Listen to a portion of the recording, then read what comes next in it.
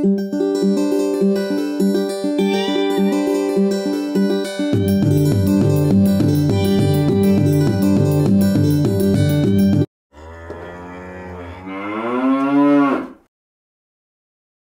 my good people. Welcome to another episode of Farm with Paul. And today, I want us to talk more about silage. What is silage? How is silage beneficial to your own cows?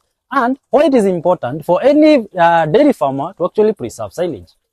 Silage is basically a method of preservation when we preserve our feeds when they have optimum nutrients so that they can be maintained for a very long time and actually be fed all along the year. The main aim of actually preserving silage is to ensure we have sustainable feeding all throughout the year and the quality of the feeds is maintained. How do we preserve silage and how is it very important in the dairy industry? Because most of the people have been asking what is silage and what is silage making. One of the most important thing about silage is we ensure the quality is maintained by actually compacting and reducing the amount of air. Some of the forages that you can actually preserve by the means of silage include napier grass, maize, sorghum, and some grains such as the oat and wheat. For you to obtain uh, maximum productivity in silage, some factors have to be considered, which include the method of compacting and chopping your own fodder. The science behind silage making is by use of something we call the lactic acid. Lactic acid uh, is produced by beneficial bacteria that are readily available in the plants. So what happens is lactic acid are not friendly with the oxygen. That is why during silage making, we actually compact to reduce the amount of uh, uh, oxygen in the fodder. The other part is we make sure that we chop our silage for easy compacting. There are several methods that one can use in making the silage. One, you can use a pit, whereby you can construct a pit and actually preserve your silage. The other method, you can use uh, wooden boxes, you can use uh, wooden, you can use the nylon bags, or you can actually use the balers, which can be used to preserve the same same silage. The only thing that uh, is common in all of them is to attain maximum retention of all the nutrients as they were harvested from the farm. So silage is one of the things that a dairy farmer or even a beef farmer cannot be able to avoid as it's a practice that is very good to be able to have sustainable feeding of your animals on a constant diet. In silage making, the bacteria producing lactic acid are the most important. This is because these bacteria produce the lactic acid which reduce the pH level of your forage to below 5 uh, to below 5 pH. This will help and reduce fermentation and in the process preserving your own silage for a very long time as long as it stays airtight and free from water. This method is does not actually add the value of your fodder. When making silage, the value, uh, the harvesting time is what matters. But preserving silage does not actually change the condition at which your fodder was harvested from the farm. So make sure whenever you're preserving your fodder, it's at the optimum stage, whereby all the nutrients are readily available.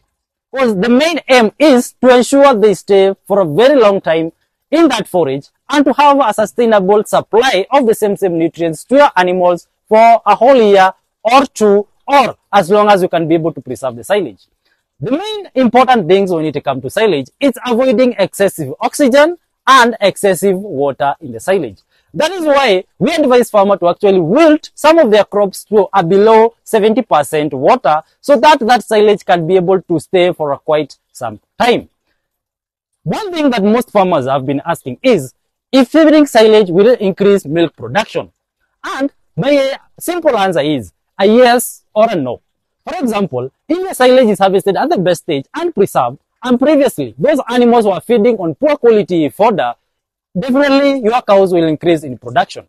But if you harvest your fodder at the wrong stage or when they are already overgrown, that means the nutrients availability in those crops won't be available to your cow. Hence, even feeding it as, as silage will not lead to milk, uh, to increase in milk production. So, for you to have a very good quality silage, make sure you harvest your crops at the optimum stage depending on the crop variety.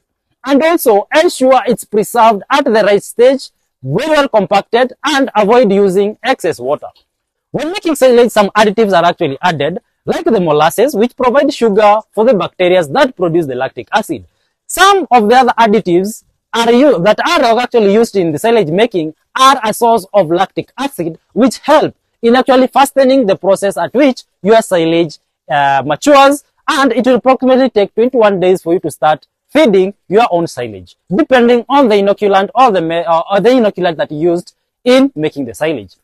In this part, here in the farm, we use silage basically from the maize. And the best stage is we harvest our maize at the dough stage. That means it does not, it's not very hard and it's not quite uh, milky. It's at the middle.